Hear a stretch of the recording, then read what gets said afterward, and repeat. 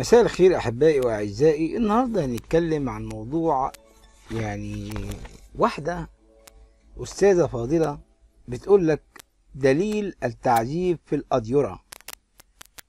جهان وشهادة موثقة. يعني إيه الكلام ده؟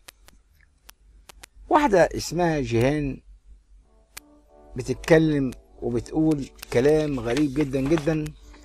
هنسمعه منها الأخت جيهان دي أول حاجة قالت إني أنا كنت مسيحية والإخوة الجماعة المسيحيين أجبروني وأقهروني وكل الكلام دوت.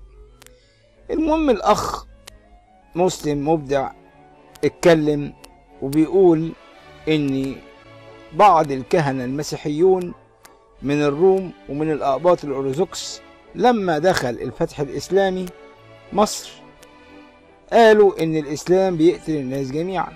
اضطربت بعض القرى وأصابها الرعب.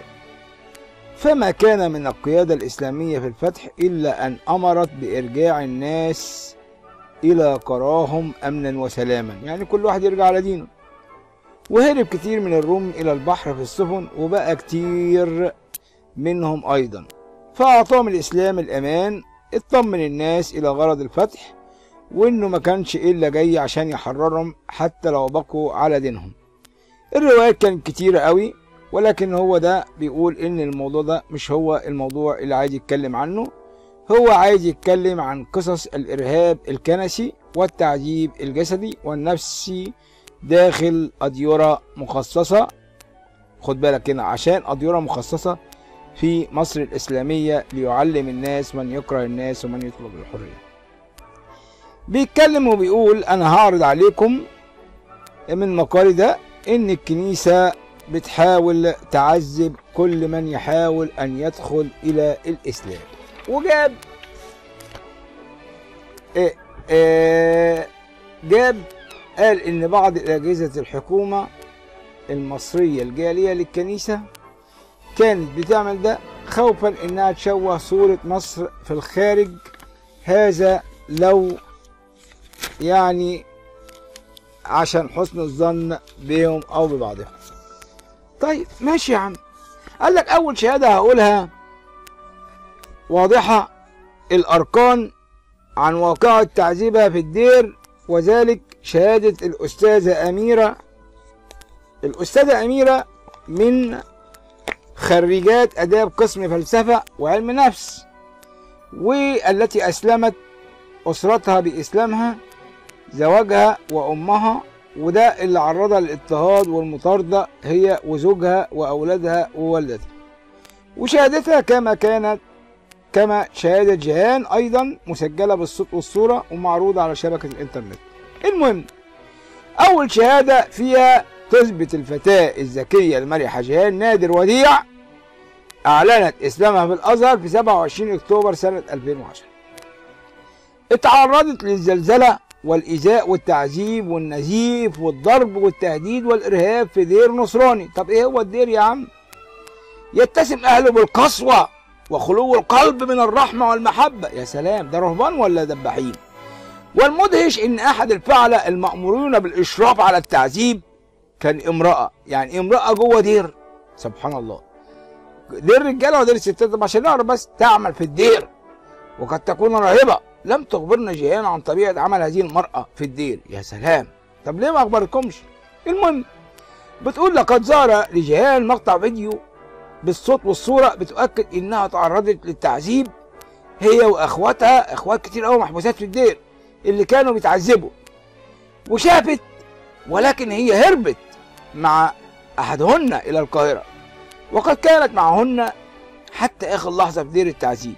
طب ما إيه هو اسم الدير اللي بيعذب ده يا جدعان؟ ما إحنا عايزين نعرفه برضه.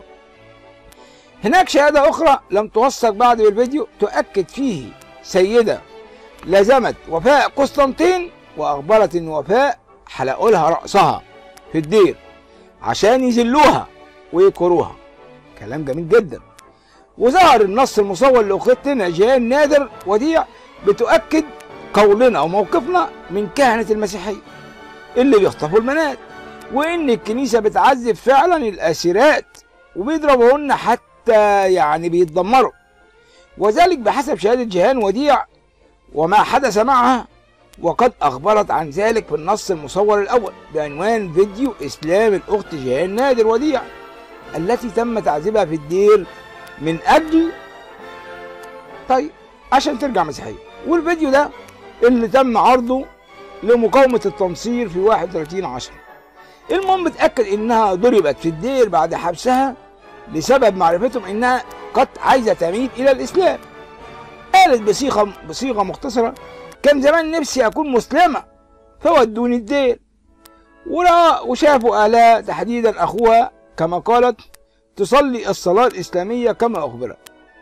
المهم هم اتجننوا لما شافوها كده وأخبروا عنها الكنيسة فتم إكراهها على الذهاب إلى الدير لتعرضها للإكراه والضرب. ياه! على ما نفرت به وكفرت به. مع كفرت بقى مش حابه المسيحية. قالت لها واحدة من رهبات التعذيب في دير الترهيب. يا عم إيه هو اسم الدير ابوس رجليك بعد أن أدمتها لو كنت اسلمتي ما كانش إيه هتلاقي حد يوديك المستشفى.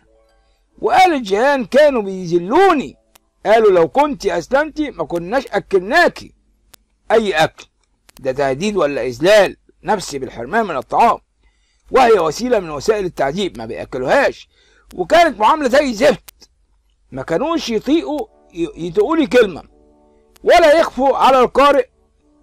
إن هذا تعبير عام عن التعذيب المعنوي يا سلام. وتعذيب معنوي وجسدي ومكاني وكل حاجة واجتماعي. وكانوا بيرغموها على الصلاة المسيحية. كانوا بيخلوني أصلي بالعافية. اقرار على ما لا تؤمن به. واللي كانت كفرت به.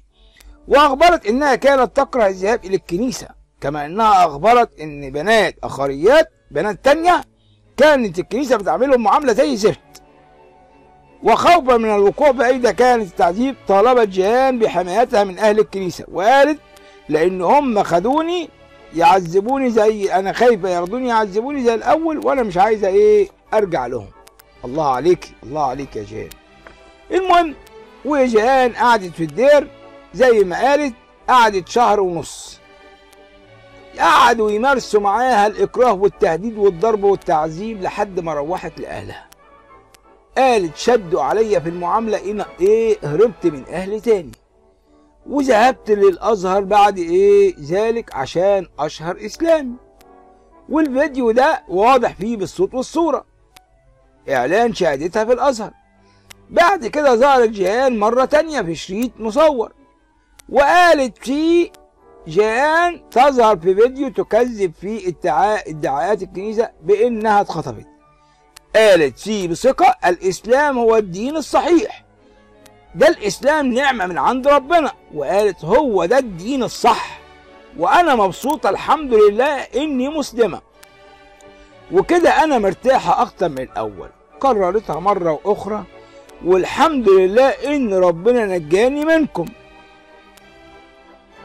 لأني كنت كنتم عايزين تودوني الدير بالعافية. زي المرة اللي اللي فاتت. لما كنتوا بتذلوني هناك في الدير. وأضافت قالت كمان أنا بقيت مسلمة كررت الكلمة دي كتير وأشهرت إسلامي في الازهر وربنا يساعدني على كل حاجة. والحمد لله وقالت عن أهلها المفروض يفرحوا لي لأني بصلي وموحدة بالله وبتمنى لهم إن ربنا يهديهم للإسلام. والإسلام نعمة من عند ربنا وهو ده دين الأساس وقالت كلمة تنم عن حبها لأهلها. قالت وأنا كل اللي عايزاه إنهم لسه يفضلوا هم أهلي لأن هم أهلي. قالت لإني أنا متمسكة بالدين ما همنيش أي حاجة بتحصل لي. ونفت تأثير شاب مسلم عليها. ونفت ادعاء الخطف وقالت بإن التأثير كان من أصدقاء مسلمين. وتعلمت وحبيت الإسلام. وبعدها بدأت قصة الدير وإرسالها إليه بالقوة والإكراه. ودوني تقصد انهم راح ودوها تاني الدير بالعافية. قالوا إن في الدير كانوا بيذلوني. لاحظ إن كل كلمتها فيها إثبات الإكراه والتعذيب والإهانة بأنواعها. أحبائي وأعزائي أكتفي الآن. ان شاء الله هكمل معاكم في الفيديو اللي جاي آه تكملة القصة لأن القصة طويلة وعميقة وكبيرة. شكرا لكم أحبائي وأعزائي وأرجو منكم ما تنسوش تشتركوا في القناة وتفعلوا الجرس هتلاقوا الجرس لونه أحمر. دوس عليه يا يد الماضي ومنتظر تعليقاتكم الجميلة. لكم مني كل الحب والتقدير. سلام لكم جميعا.